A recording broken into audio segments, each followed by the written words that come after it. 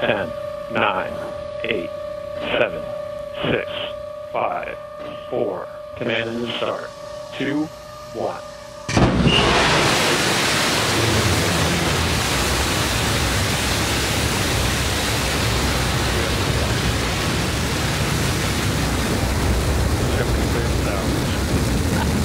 And New Shepard has cleared the tower on our way to space with our first human crew. Go, Jeff, go, Mark, go, Molly, go, Oliver. You are going to space. And there you see it right there. Blue Origin has begun its liftoff into space. Katie, wanna- as we're all watching this rocket go up with such force, give us a sense of what those passengers are, are feeling right this moment. Oh They are realizing just what I said, that it is so hard to leave the planet, and they are going. And you realize that you are going somewhere, and you are just not going to stop until that engine cuts out, and then you'll be in space. They're getting, the G's are starting to build up. Max Q, it's the highest dynamic pressure of the flight. So what does Max Q feel like? 30,000 feet. Mach 1. It's not a sudden thing for us. It's just that you you realize that it's the most stress on the on the vehicle itself, and it's it's a nice thing to get done with, and that that is the most stress on the parts of the vehicle. So now you know your vehicle is doing fine. to see the, to see the, the, the, the glow And what are they feeling inside their bodies at this moment? just under our shoulders and to know that we've got a crew that is going to space. I think, I think I heard you ask about what it's like. Uh, they're, they're, they're actually feeling sort of pressed into their seat as if I tell people it's like having a gorilla sit on your chest, but sort of like gradually, gradually, gradually, more and more. It's a little hard to breathe, but at the same time, you know that you can. You also know it's not going to last that long. in the uh, middle They're coming up on Mach, on two minutes, coming up on Mach 2. And then they're eventually going to hit Mach Such a great 3 and weight weightlessness. Everything going perfectly so far, correct? As far as I could tell. All right, coming up here on MECO, main engine cutoff. That will be Main followed shortly by separation. And at that point, after separation, we're going to uh, let the, the astronauts unbuckle and take in the freedoms of zero G. There is MECO, main engine cutoff. A beautiful shot down the New Shepard rocket. Look at that view. So this means they are weightless. Unreal. coming up.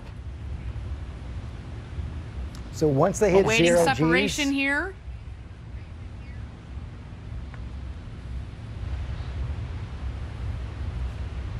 As soon as they got that separation, there was zero G there.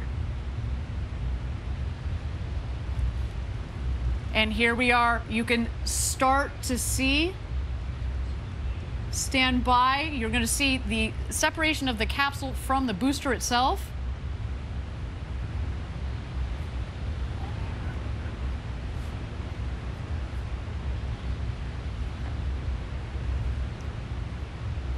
and Katie, once the booster separates, what's going to happen? That's when they are. Look out the window. he did that. Oh, wow. I'm not sure if you could hear them. I think that sounds like, yeah, it does sound like the crew inside right now, huh? it's awesome. That was definitely And a there we go. Wally. Our astronauts have passed the Kármán line at about 328,000 feet, continuing their ascent. You see the two vehicles there. When the speed hits zero, you know that they've hit apogee, their maximum altitude, and you hear they're having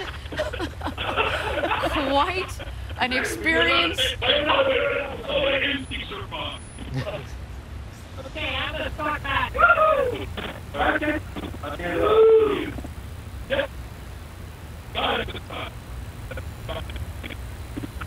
That is a high, Katie, isn't it? Oh, you, you can hear it in their voices. There's nothing like it. The floating, the flying, you're flying inside the capsule, and the view of the Earth. That combination. And, and those windows are as big as you are. And I, I imagine that no matter how many times you practiced, it still feels different warning. when it's real. One minute warning. It, you know, it, we, you know, we call this civilians in space. It's people in space, and when it's uh, when it's real, it's just there's just nothing like that feeling, and it makes you realize that there's a there's a whole big world out there in that universe, and just waiting for us to explore. You can see the separation. You see those two ships there. So the the booster's on the bottom there. Well, actually, the booster's probably on the top. Depends on the camera angles, but the brighter one is usually the booster. Okay, get in.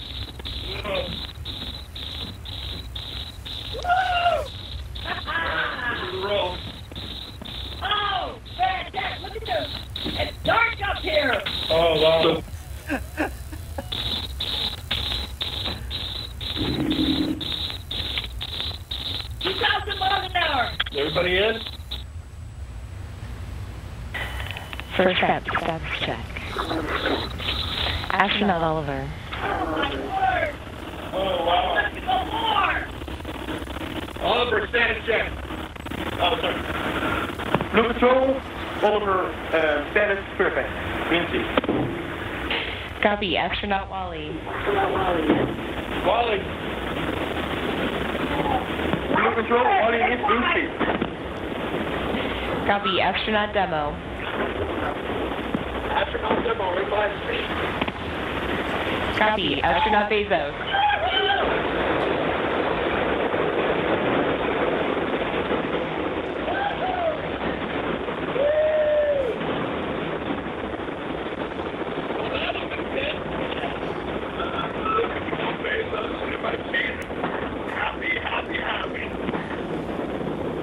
Copy.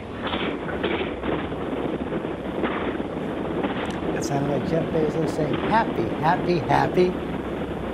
Right there, almost seven minutes into their flight into space. And Katie, tell people what they're seeing on the right of the joining us live for our screen, first what is about to flight on make New landfall Shepard. again. So phenomenal flight. Our booster is about to its landing pad. So they're, they're, they're going faster and faster and faster and. Now they're, they're starting to slow down in the dis- that's actually we're looking at the booster there. So Right. you're, two things are happening. The booster actually lands before they do, and you see it coming in for a landing, slowing down. It's going to land at about five miles per hour, usually right on that launch pad. So that's the booster landing that we're seeing right now. So it can And be they are again. about two miles And away. Booster touchdown. Welcome back, New Shepard. Wow. A beautiful rocket that provided a beautiful flight to space. First step, your booster has landed. Bullseye for the booster right there on the launch pad. Blue Control Bezos, that's great to hear about the booster. They were happy to hear about the booster. There it is. To be able to hear them, they're, they're so calm, excited, but yet so calm. You have calm. a very happy crew up here, I want you to know.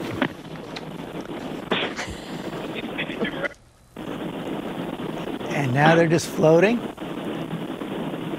You see it right there. You see the Blue Origin capsule. I see blue. I see the big barn. Stand by drogues.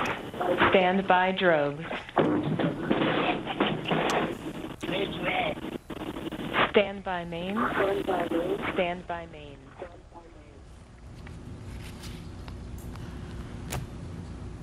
Oh, so far, a nominal flight. Here comes the crew capsule back from space.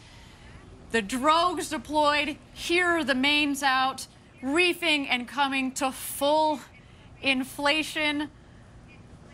Our, our rocket went over Mach 3, and now they're coming floating back down at just about 15 or 16 miles an hour, about to join us home. Back here in West Texas after having gone So, over Robin and George, you see those parachutes now. Those are slowing it down to 16 miles per hour. Eventually, before it hits that desert, Carrie, it's going to slow up, down friend? to just one mile per hour. So, it is a slow and gentle descent. Geo, it seemed to go about as well as it possibly could have gone. Just got about a minute and a half. You know what? We had 15 successful tests before this, George, consecutive tests. Now we can count a 16th, it seems, uh, because this one was the first one with uh, humans on board, and it looks to be going very, very well. are above the ground. Multiple sensors. Just six feet above the ground, that, that cushion of air will, will puff and they will have a soft touchdown, almost like just sitting in a chair. But I'm sure their adrenaline is pumping.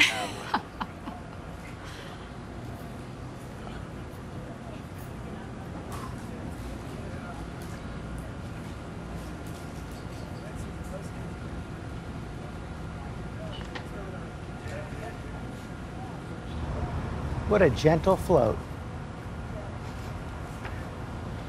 And George, if you can see the capsule there, it's looking a little bit toasty. And touchdown. There we go. Welcome back, New Shepard's first There we go. human crew. What? What New a Shepard- flight. Congratulations to all of you. Welcome back to Earth. 35 Oh, seconds ahead of schedule. day. Oh,